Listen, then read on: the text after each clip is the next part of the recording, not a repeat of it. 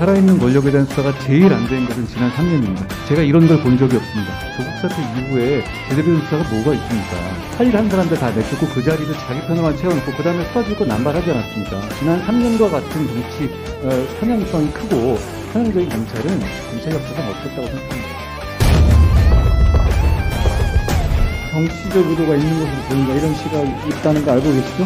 사실 그 말씀대로라면 조국 수사 그냥 한번 눈 감았으면 계속 흑길이었을 텐데요. 언제 정치 검사의 정의가 바뀌었는지 저는 되묻고 싶습니다.